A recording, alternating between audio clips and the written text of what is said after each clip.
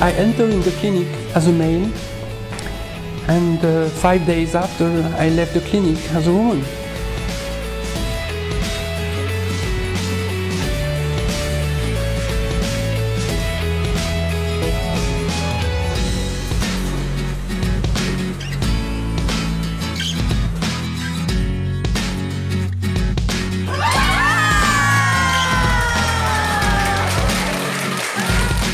And they were all here in that office waiting for me. And uh, so was my first cry. I made a cake and uh, in on the cake I write be yourself be happy.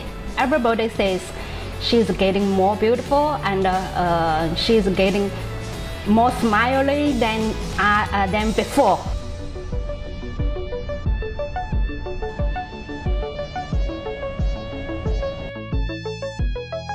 the Vietnamese are very, amazing, uh, open mind.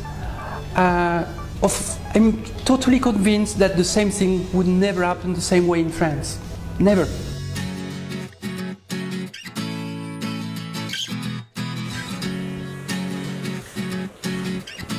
We're going often uh, to the restaurant together, so it's quite funny when you have the mother, the daughter, and the father as a woman.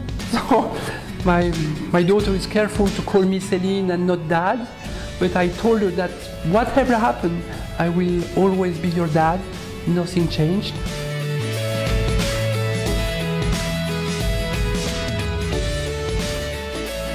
I feel just uh, the most happiest woman in the world.